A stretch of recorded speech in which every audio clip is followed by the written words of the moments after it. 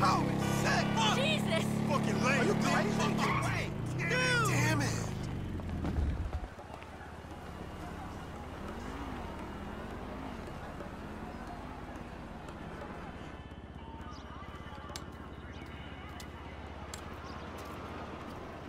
So what's up, man? Sit down and face forward. Now, I don't have a lot of time. I know you need money. Did Michael tell you about Life Invader? Oh shit, y'all two did that? Look forward. We're two strangers having a friendly chat, and don't pretend that you liked Jay Norris. Oh man, I don't know, homie. I mean, yeah, the dude outsourced work to child slaves, then stole and sold everybody's private information, and even ripped his own friends' ideas off and walked around like the Messiah while doing it, but man, I don't think the nigga deserved to have his fucking head blowed off on TV. Oh, well, aren't you just a moral majority? You know, that's why the world is the way it is today, when a paid thug gets all namby-pamby when someone asks him to act like a paid thug, and for a good cause. Man, check this out, homie. I like blowing motherfucking fools' heads off just as much as the next psychotic asshole.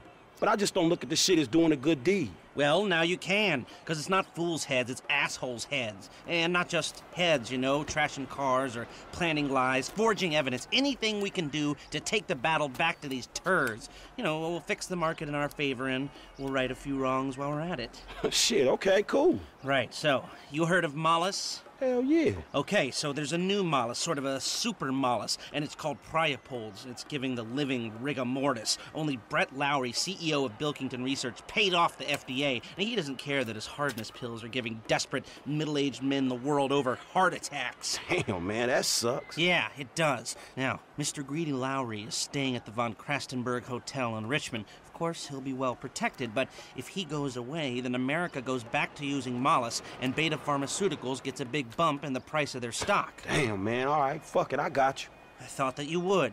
Now, consider using a sniper rifle or sticky bombs. You know, whatever. Do it your way, however you want. I'm gonna make the investment. We don't speak about this or anything.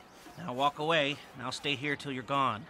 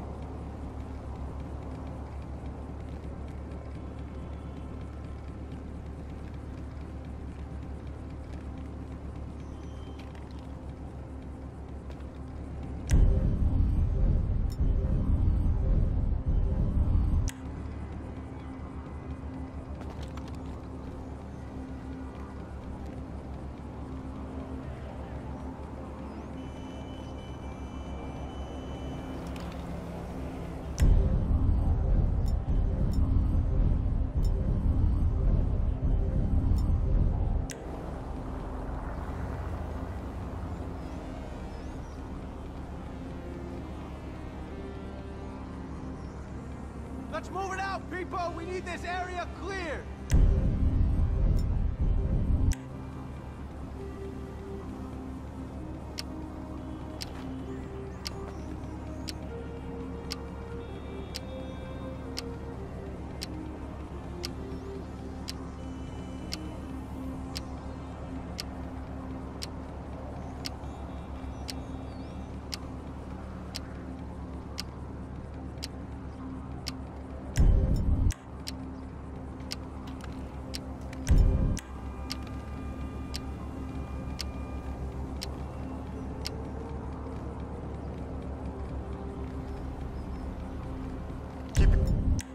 Your eye out for anything unusual. Let's see if we can get through one day without some wannabe hippie waving an anti-globalization sign in my face. Oh, shit! Get what you give out, Mr. Lowry.